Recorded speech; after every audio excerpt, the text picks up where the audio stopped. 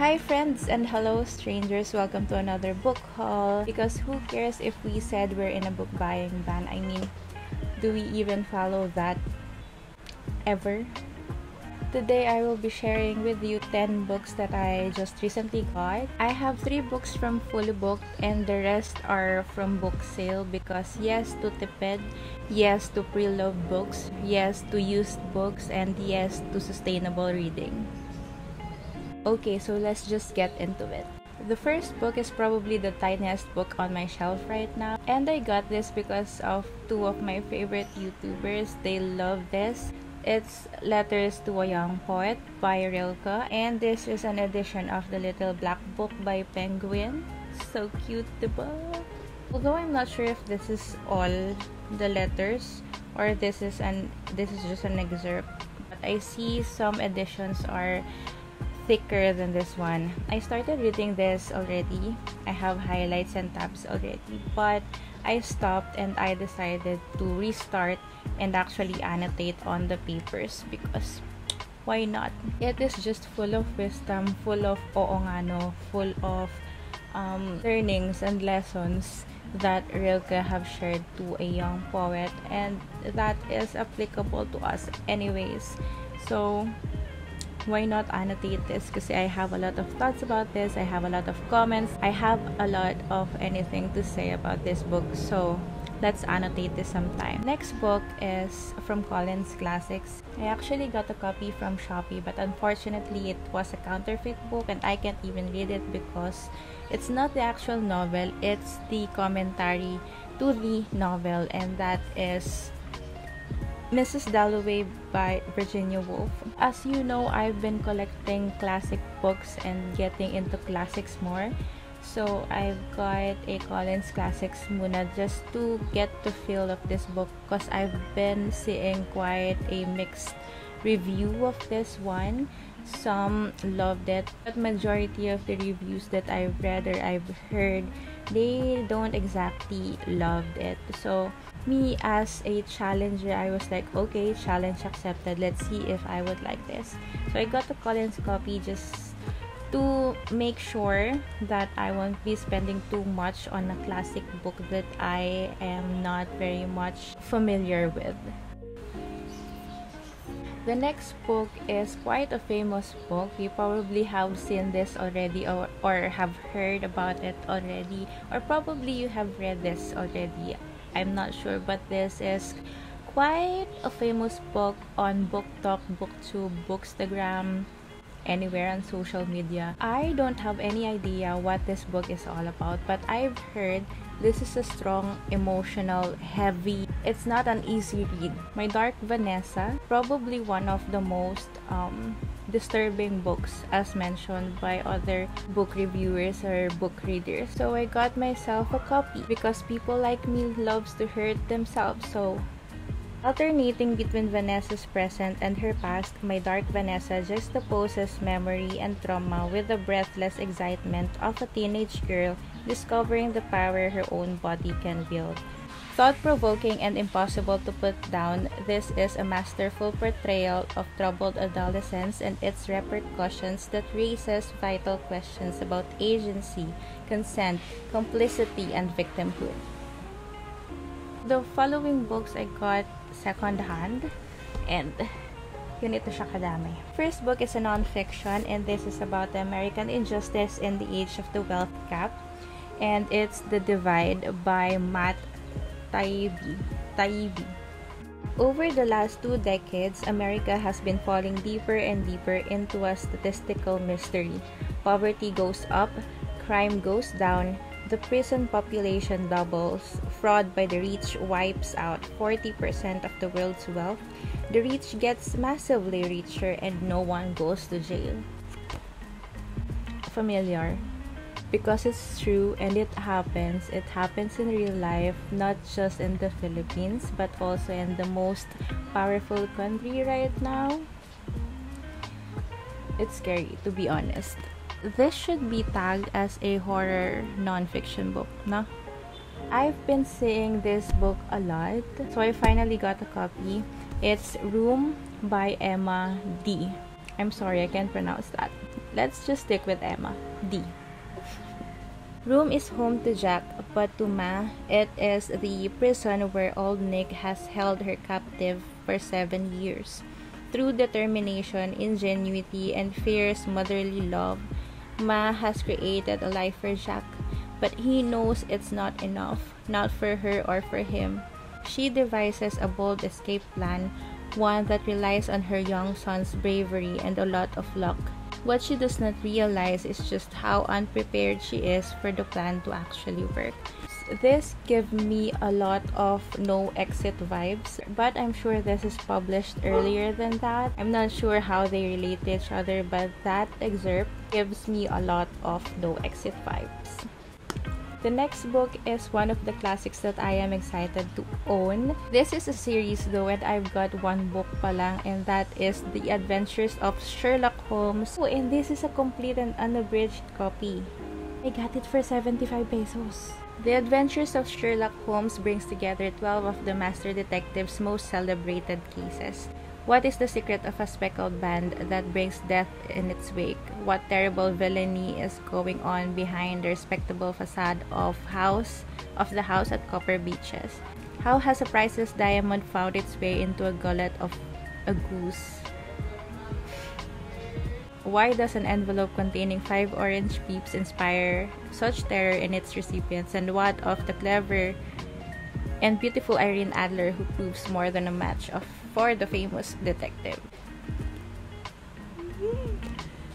Excited ako dito. But this is, I guess, the third book from the series. And I'm not sure if I should read it first. If you have read the Sherlock Holmes series, let me know if this is okay to be read like una. The next book is another classic and I have no idea what this is all about. The Scarlet Letter by Nathaniel Hawthorne. Eh, natatandaan ko eh. Natatandaan ko tungkol saan to. Sige, basahin na lang natin. This is a troubling story of crime, sin, guilt, punishment, and expiation. Set in the rigid moral climate of 17th century New England, the young mother of an illegitimate child confronts her Puritan judges. However, it is not much her harsh sentence, but the cruelties of slowly exposed guilt as her lover is revealed and hope as her lover is revealed that hold the reader enthralled all the way to the book's poignant climax. Hindi ko naiintindihan. Oh! I've just started trying to put the Goodreads blurb or Goodreads synopsis at the front page of the books. Ayun, natatanggal siya. Because as you know, I don't read blurbs. I don't read excerpts or anything about the book. I just dive in right away without knowing what this book is all about. I just know the genre that it is tagged on Goodreads, but not the actual plot of the book. So, I tried putting a small piece of paper. Yung iba color, yung iba hindi. Kasi wala na kaming ink. To familiarize myself with what is the book all about. So, let's see. Set in 17th century Puritan Boston, Massachusetts, during the years of 1642 to 49, it tells the story of Hester Prynne, who conceives a daughter through an affair and will not reveal her lover's identity. Mmm. Juicy. The Scarlet Letter A for adultery she has to wear on her clothes along with her public shaming is her punishment for her sin and her secrecy. She struggles to create a new life of repentance and dignity. Throughout the book, Hawthorne explores the themes of legalism, sin, and guilt. I think mas nakakaintindi pa ako nung blurb sa Goodreads kesa sa nakalagay sa likod. The next book is also a classic from Charles Dickens. It's Martin Chuzzlewit, and it's a large book, by the way. How many pages this is? Ooh, we have here, what's this? Notes. We have here notes, and the actual novel is 764 pages. Set partly in America, which Dickens had visited in 1842, the novel includes a searing satire on the United States. Martin Chuzzlewit is the story of two Chuzzlewits, Martin, and Jonas, who have inherited the characteristic Chuzzlewit selfishness. It contrasts their diverse fates of moral redemptions and worldly success for one with increasingly desperate crime for the other. This powerful black comedy involves hypocrisy, greed, and blackmail, as well as the most famous of Dickens's grotesques, Mrs. Gamp.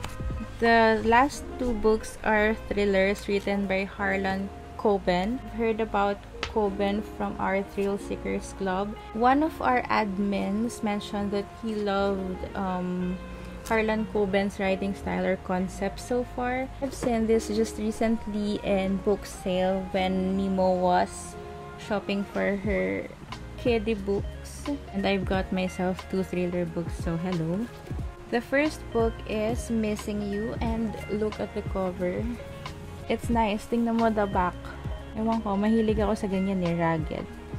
Plus, the spine is orange, so it really stands out when it's in the stack of books or in my shelf. Wala pa akong na-print na blurb, but let's read the back cover.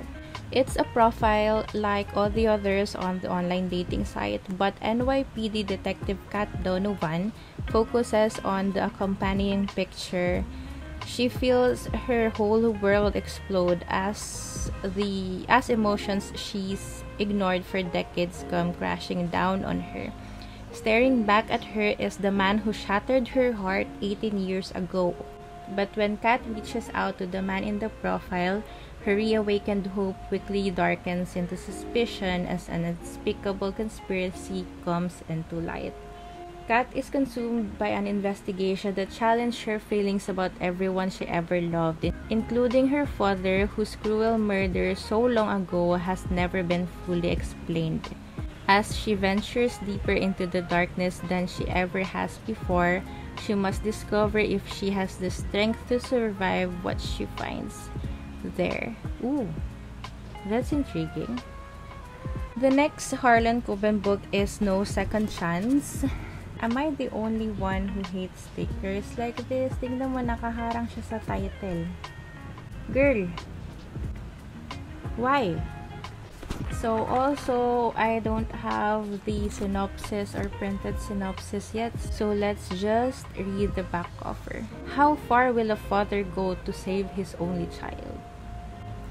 Shot twice by an unseen assailant, Dr. Mark Seidman lies in a hospital bed.